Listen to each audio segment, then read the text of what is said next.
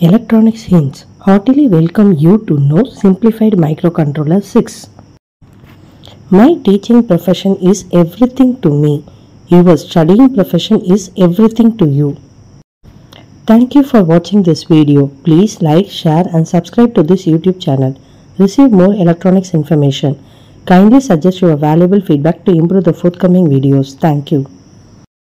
What are the types of flags? The types of flags are the conditional flags and unconditional flags. What are conditional flags? The flags CY, AC, OV and P are conditional flags. What are unconditional flags? The flags FO, PSW1, PSW3 and PSW4 are unconditional flags.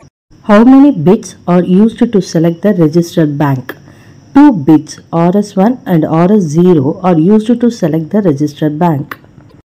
What is the condition of maths flag? The maths flags are changed after the result of arithmetic and logical operation. When is the carry flag affect? The carry flag is affected after an 8-bit addition or subtraction. This flag is also affected by SETB C and clear C instructions. When is the auxiliary carry flag affect? The auxiliary carry is affected if a carry from D3 to D4 during an addition or subtraction operation. What does the parity flag reflect? The parity flag reflects the number of ones in the accumulator. When is the over flag set?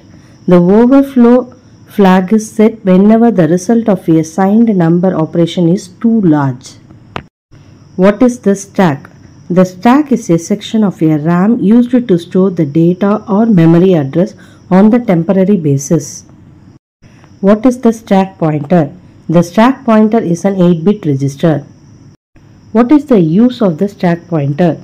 It holds address of the data of the internal RAM. The continuation of this part is in my next video.